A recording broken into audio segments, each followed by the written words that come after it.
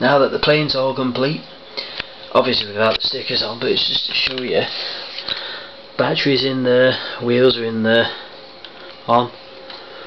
Quite it's quite it's got a quite a bit of weight to it considering it's a polystyrene job.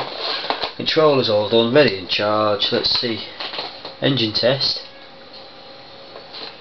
Hold on turn the controller on turn it on from underneath a minute that's the one it's got nice wheels on it ready Look at that. It's almost ready to fly.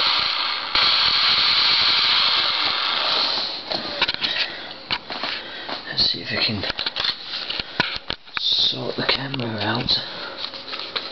Let's try it again from this angle. Left. Right.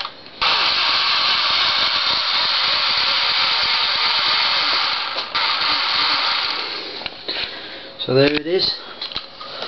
The angel plane.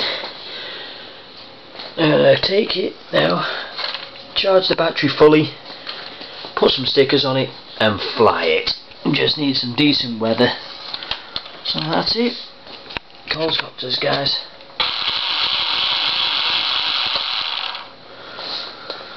Get out there and get one. See you later.